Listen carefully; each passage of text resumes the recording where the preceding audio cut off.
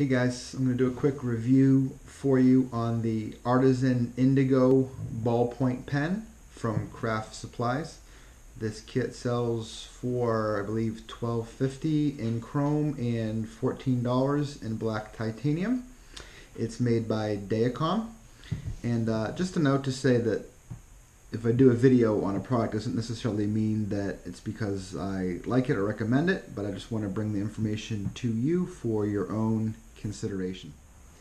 Just want to show you guys quick what's in the bag here before I show you the assembled pen. There's a brass tube, obviously. I already have that in the uh, in the pen blank. We got a clip here. It's stamped Dayacom. This is a Dayacom kit and it's uh, got a nice style and it's got a little roller wheel down the bottom which that's a matter of taste. It does actually roll um, but you can kind of take it or leave it. I would prefer this kit didn't have that little roller ball but uh, it is what it is. That's the that's the kit. Pretty nice ring on top there. Pretty sturdy. And then the finial piece has uh, lines in it. It's not really easy to tell from the picture on the website, I don't think. But on the top and on the side, it's got a little etched line detail into it. Really solid um, piece, nice black titanium coating. And then it has the uh, lower assembly that all screws together and then slides up into the pen, the transmission, of course, unscrews.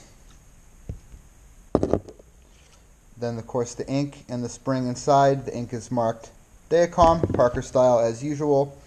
And then the lower nib piece unscrews from this as well. Here's the centerpiece where the ink goes inside. And here's the nib piece. It also has that same line design in it. I don't know if I can get a good shot of it, but it's got lines down to it, through it. So a couple things to note about this pen. It takes a 3 8 inch uh, drill bit for the tube and the tube is just shy of 3 and 7 eighths inches long. It's uh, a pretty long tube.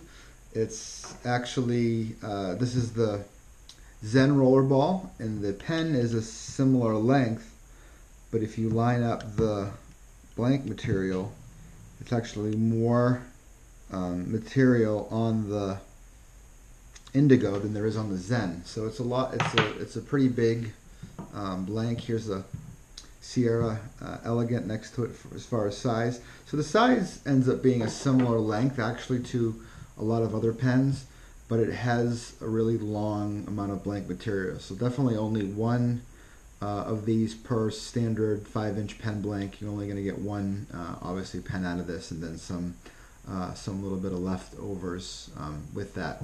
The way that this kit goes together, and you could see it from the, uh, the parts that I had there, it's less critical on exact tube um, length than um, some other kits because it's all integral where the uh, where the ink is and the transmission all is one piece that's then slid up and and locks into place here as it slides into the back. Now I think you can probably pull the whole thing apart, but it's really tight and the instructions recommend unscrewing the uh, nib, the front portion, to change the ink. And so you can unscrew that and you have your, your ink in your spring um, right in there with that. So that's the recommended way and that's how I plan to do it.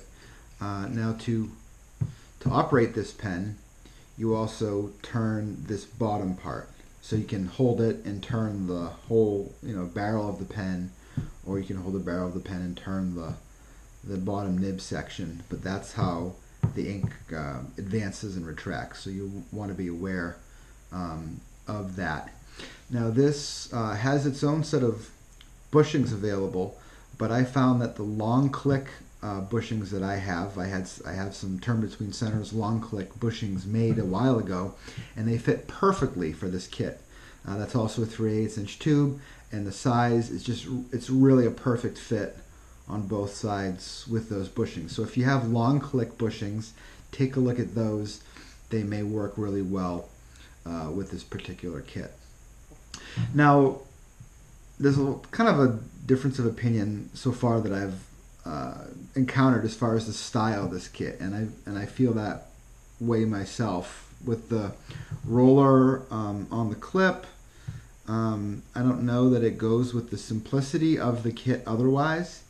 It's like taking a very basic kit and then adding like a kind of different element to it. And so it's really going to be a matter of taste um, as far as if you like this uh, this kit or not. Also, the price, you know, is a consideration as well. But it's another single tube kit, which I like. It's half the amount of turning and work overall as a uh, as a two tube kit, and the quality is really excellent. Um, pretty much every kit that I've had from Dayacom uh, as a supplier uh, has been a great kit.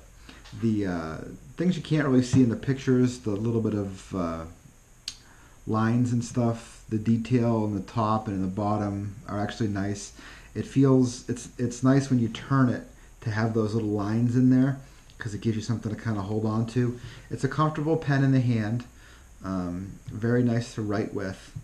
So uh, just want to give you some information about this new kit, and it may be for you, it may not be for you, but hopefully uh, that helps you a little bit. If you have any questions, please leave them below, and I'll be happy to answer it. If you want to see more reviews and videos like this about turning, etc., please subscribe, and have a great day.